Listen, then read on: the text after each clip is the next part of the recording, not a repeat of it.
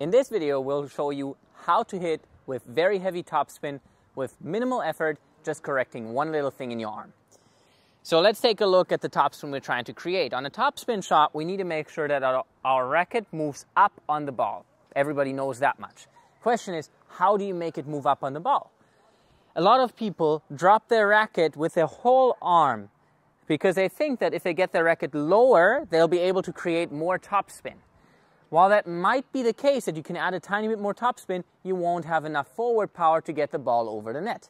So the way that pros do it is very simple. They take their racket back and they keep their forearm roughly at the level of where the ball will be when they're going to make contact with it. And then the only thing they adjust, depending on if they want to hit with more spin or less spin, is how much they drop the racket with their wrist. And you can see it's kind of like a forearm turn here that happens that helps me to drop my racket with the help of my wrist by my wrist angling back. And then I can figure out how much topspin I want to give it. If I want to hit the ball very flat, I do the same thing. My forearm stays on the level of the ball and I drop my racket only to the point where it's behind the ball. So now I can hit straight forward from here.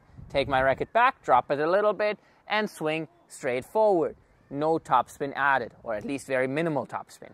If I want to add a lot more topspin, I take the racket back the same way, keep my forearm again, same level as where I want to make contact, and now I drop my racket under the ball.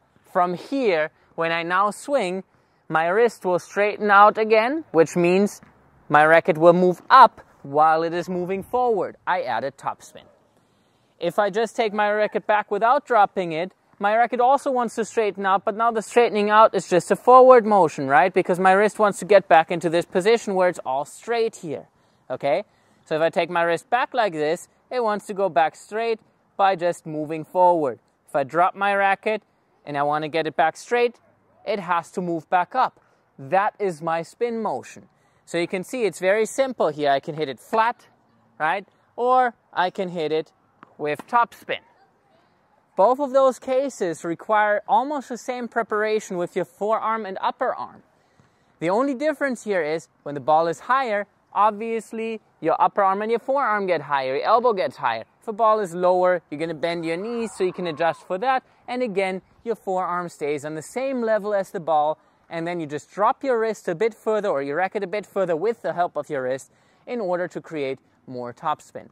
The more you do that, the more flexible your wrist is and the more you drop your racket with your wrist, as long as you can control that, that snapping back in place motion, the more topspin you will add to your shots and the easier it will be for you to hit heavy topspin without losing control of your shots and without framing every second ball.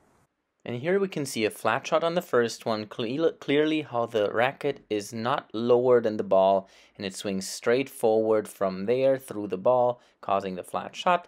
And on the top spin shot, we can see how the racket points down a lot more, the forearm being just as high, and the racket swings up on the ball, creating heavy top spin in the process. Hope you enjoyed this video. Please like and subscribe and we'll see you guys soon.